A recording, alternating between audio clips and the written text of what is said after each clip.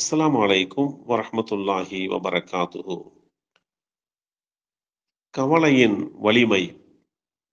அனசுபனு மாலிக் அலி அல்லாஹு அன்ஹு அவர்கள் அறிவித்தார்கள் நபிகள் நாயகம் சல்லல்லாஹு அலைஹி வஸல்லம் அவர்கள் அல்லாஹ்விடத்திலே பிரார்த்திக்கின்ற போது யா அல்லா துக்கத்திலிருந்தும் கவலையிலிருந்தும் உன்னிடம் நான் பாதுகாப்பு தேடுகிறேன் என்று பிரார்த்தித்தார்கள்.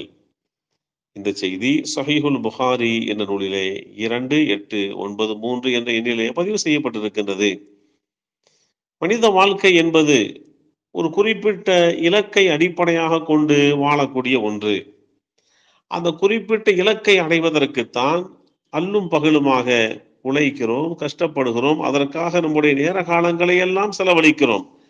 ஆனால் நாம் அந்த இலக்கை தொடுவதற்கு முட்டுக்கட்டையாக ஒன்று வந்துவிட்டால் நம்முடைய விருப்பங்களை அடைவதற்கு தடைக்கல்லாக ஒன்று வந்துவிட்டால் உடனே அதற்காக வேண்டி கவலைப்படுகிறோம் சோர்ந்து விடுகிறோம்.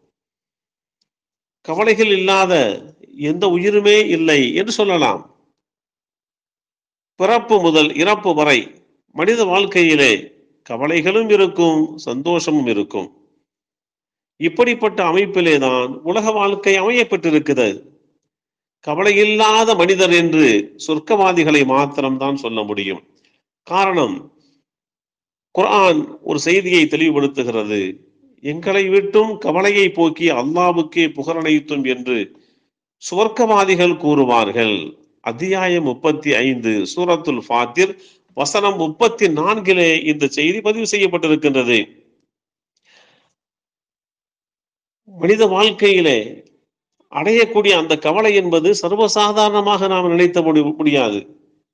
கவலையின் மூலமாக வியாபாரத்திலே முன்னுக்கு வர முடியாமல் படிப்பிலே கவனம் செலுத்த முடியாமல் மிகப்பெரிய பின்னடைவை ஏற்படுத்துகின்ற அந்த விதத்திலே கவலைக்கென்று ஒரு தனித்துவம் இருக்கின்றது ஒரு வலிமை இருக்கின்றது. இந்த கவலை மனித வாழ்க்கையை வேறு விதமான அமைப்பிலே திருப்பி விடுகின்ற அளவுக்கு உண்டான ஆற்றல் பெற்றது. அலிரலியல்லாக அவர்கள் கூறினார்கள் படைப்புகளில் மிகவும் பலம் மிக்க படைப்புகள் பத்தாகும். ஒன்னாவது மலைகள். ஆனால் அந்த மலைகளை இரும்பு உடைத்து விடும். அந்த இரும்பை நெருப்பு உருக்கிவிடும் அந்த நெருப்பை நீர் அணைத்து விடும். தண்ணீர் அணைத்து விடும்.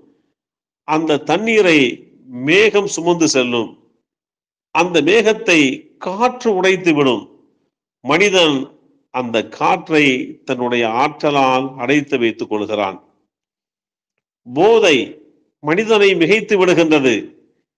அந்த போதையை தூக்கம் மிகைத்து விடுகிறது. அந்த தூக்கத்தை கவலை மிகைத்து விடுகின்றது. எனவே அல்லாஹுடைய படைப்புகளில் மிகவும் பலமானது வலிமையானது கவலையாகும் என்று அலிரலி அன்ஹு அவர்கள் குறிப்பிடுகின்றார்கள் ஒரு மனிதனுக்கு கவலை இருந்தால் எனக்கு இரவெல்லாம் தூக்கமில்லை அந்த அளவுக்கு கவலை என்று சொல்லி கஷ்டப்படுகின்ற ஒரு நிலையை நாம் பார்க்கின்றோம். அல்லாஹுடைய படைப்புகளிலே மிகவும் பலமானது என்று கேட்கப்பட்ட போது அலிரலி அல்லாஹன் அவர்கள் இந்த கவலையைத்தான் அவர்கள் தெளிவுபடுத்தி காட்டியிருக்கிறார்கள். மனிதனுக்கு கவலை வந்துவிட்டால் அது மிகப்பெரிய கலக்கத்தை ஏற்படுத்தி மனிதனுக்கு பல்வேறு விதமான சங்கடங்களையும் தொல்லைகளையும் தந்து விடுகின்றது என்பதைத்தான் அலிரலி அல்லாஹு அவர்களுடைய அந்த வார்த்தைகள் சொல்லுகின்றது. கவலை துக்கம் பசி இரவு கண்விழிப்பு இவை நான்கும் உடலை சிதைத்து விடும் என்று இவருள் கையும் ரஹமத்துல்லாஹி அலை அவர்கள் குறிப்பிடுகின்றார்கள். தூக்கம் இல்லாமலும் இருக்கக்கூடாது. சதா கவலைப்பட்டு கொண்டும் இருக்கக்கூடாது. பசியோடும் இருக்கக்கூடாது. இரவு நேரத்திலே அதிகமாக கண் விழிக்கக்கூடிய ஒரு நிலைப்பாட்டையும் எடுத்துக் கொள்ளக்கூடாது.